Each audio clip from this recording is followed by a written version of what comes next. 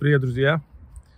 Хочу сделать такое коротенькое видео и поделиться с вами планами о развитии этого канала. Хочу вам рассказать, какой будет дальше контент, куда развивается канал и что вообще будет происходить, да? Такое очень коротко, но, друзья, смотрите, на канале важные перемены, если вы заметили, наверное, то видео, например, из Рима уже было записано на английском языке. Я думаю, вы понимаете, о чем будет речь. Но смотрите, друзья, возможно, просто интересно, да, почему так произошло. Э, так как все-таки на меня подписаны, допустим, в принципе, не маленькое количество людей. То есть не так, чтобы много, но и немало. Вот. И, во-первых, хочу сказать всем огромное спасибо, кто все эти годы, это уже каналу сейчас где-то почти уже три года, за то, что вы смотрели э, мои видосы. Я старался и выкладывался на каждом видео, искал материалы, и пытался создавать качественный контент, которого так мало на YouTube. Очень много, к сожалению, видео, которые люди записывают просто, я не знаю, ради чего даже. Чтобы просто посвятиться на YouTube, может быть, а не правда донести какой-то хороший контент. Я выкладывался очень сильно, сделал хорошее видео и старался для вас, но сейчас хочу поблагодарить вам всем, кто был подписан, всем, кто оставлял хорошие комментарии, особенно позитивные, потому что вы не представляете, как важно получать Э, людям, которые вот, занимаются таким контентом, да, занимаются созданием контента для YouTube, как важно получать обратную связь от вас, причем хорошую, какую-то какую-то по делу, да, информацию. Смотрите, как, как низко тут летает самолет. Так вот, друзья, огромное всем спасибо за это. Э, я не планировал делать англоязычный канал этот, когда создавал этот канал. Он он должен был быть таким, как он был. Но я дал себе три года на развитие этого канала. Почему именно три года? Потому что есть такое общее правило, ну, допустим, во многих сферах жизни. Если у тебя за три года не получилось что-то сделать, то или ты делаешь что неправильно, или, возможно, нужно поменять э, тактику, или вообще заняться чем-то другим. Э, в моем случае, допустим, прошло три года, да, и я не вижу того результата, который мне нужен.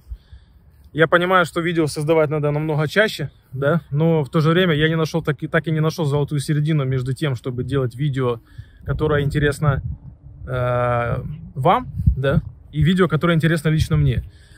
Потому что есть очень много тем на канале, которые я записывал, которые не записаны для поисковых систем, да. То есть, например, если вы что-то не гуглите в ютубе, то как вы найдете мое видео, если я записал какое-то видео, о котором вы не знали раньше? Есть, получается, видео, о которых я писал, э, интересные какие-то темы, о которых вы мало знаете, или это плохо раскрытые темы, так вы ее и не ищете. Ну, потому что вы же не знаете об этом, как вы будете это искать. А такие видео интересны мне. То есть, э, если вы хотите в будущем с чем-то подобным заниматься, как я, допустим, создавать контент для YouTube, то я вам посоветовал бы выбирать какую-то золотую середину, 50 на 50. Создавать одно видео, например, для себя, второе для роботов, да, для YouTube, то есть для поисковых систем. Я как веб-разработчик, поверьте, с самого первого дня создания YouTube знал, как он работает. И я очень хорошо разбираюсь, как это работает технол... именно технологически. Потому что SEO, SEO-оптимизация, это очень незнакомая тема. Я с этим сталкивался много лет и знаю, как это работает. И на YouTube там все то же самое.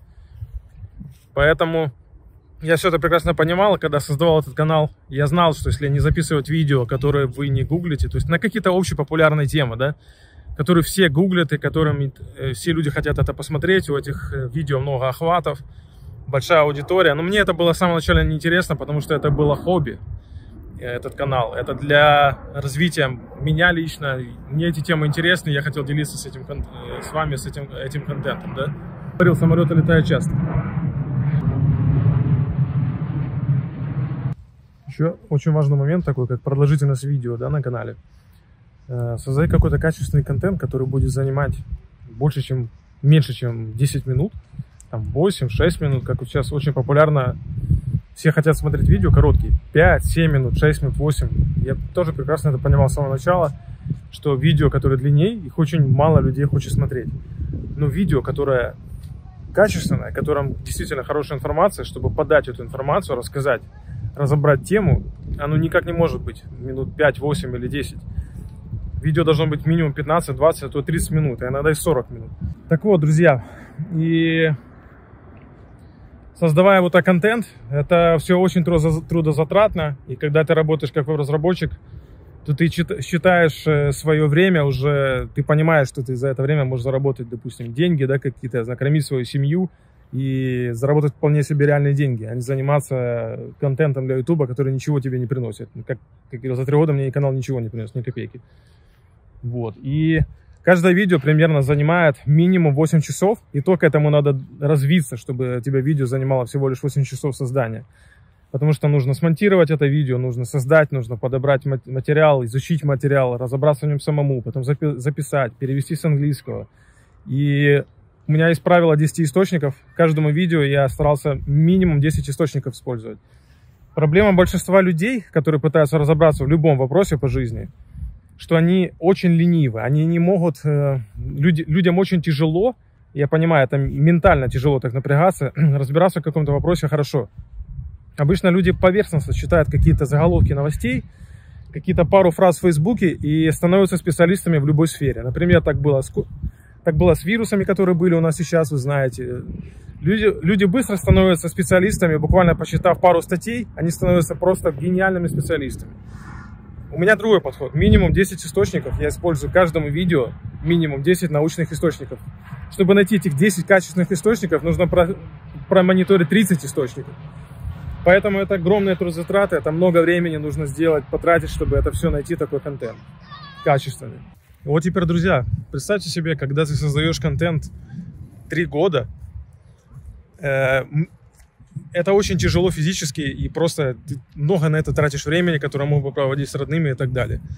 Но когда ты создаешь это видео, допустим, и оно, я же вижу, допустим, его смотрят, да, некоторые видео там по 5000 там, просмотров, например, там, да, бывает, по 3000 просмотров. Это, конечно, немного для больших каналов, но сами подумайте, это 5000 людей посмотрели видео. Это очень много людей. Но под видео, если зайти, посмотреть, почитать комментарии, то хороших комментариев практически нет никогда. У нас почему-то такой менталитет, что мы хорошее не пишем людям. Мы... Если тебе что-то понравилось, ты, скорее всего, ничего не напишешь. Вот если тебе не понравилось, если ты, допустим, хейтер, то ты плохое пишут очень часто. Ну, люди наши не пишут хорошее. Если вы не знаете, я, я мониторил свой канал, просто проанализировал. Больше 100 видео на канале, где-то 110, наверное, видео за три года. Представьте, сколько это времени, 110 видео вообще. И я на моей памяти может быть десятки хороших комментариев всего лишь. Десятки хороших комментариев на всем канале за три года, друзья. Вы не представляете, какой надо обладать целеустремленностью, чтобы создавать контент, когда тебе ничего хорошего не пишут. То есть, или я настолько плохой контент создаю, что вообще ничего хорошего нельзя написать, что ли? Конечно же, нет. Хорошее пишут. И писали даже, бывало, люди писали даже в соцсетях, находили меня, писали, благодарили, что-то спрашивали. Были хорошие, но их просто на фоне всех остальных комментариев, их там десятки всего лишь. Понимаете, как мало? То есть мы мы почему-то на уровне менталитета мы не, а, мы не привыкли говорить людям хорошие вещи.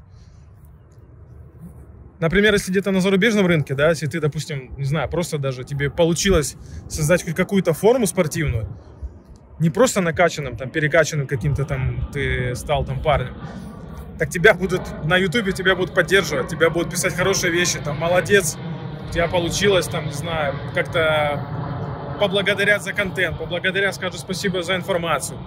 Спасибо, там, что ты постарался, нашел эту информацию, было полезно, интересно. У нас хорошие комментарии, к сожалению. Это я общаюсь с другими блогерами, и это не только у меня на канале такая проблема. Это проблема наших вот стран. Мы не пишем хорошие людям в комментариях.